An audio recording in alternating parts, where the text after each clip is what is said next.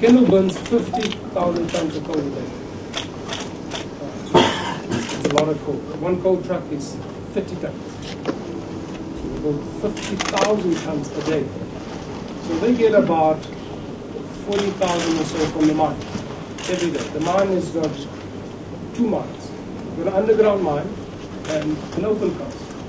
Of the 40,000 that comes across, between 80, between 60 and uh, 70% of that comes from underground. And a very small portion comes from the open cast.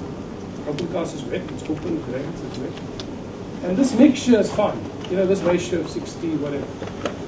It's fine. We can deal with it, we can get it through, we can burn it, maybe we need oil. But what happened is in that evening, the underground stopped. And we got called directly from the mine straight into the power station. They're now telling us only from the open cast. And this coal blocked the transfer conveyors actually. At 5 o'clock, they got all the units back on load. So they got that blockages out, washed it out, cleaned it out, and started recovering. The mine got back. We recovered from our own stockpiles and put that through. Uh, got the coarse coal in. Uh, and really, we lost these four units. You can see in the hour, early hours of the morning. Uh, and, and that's a situation that we lost Thursday.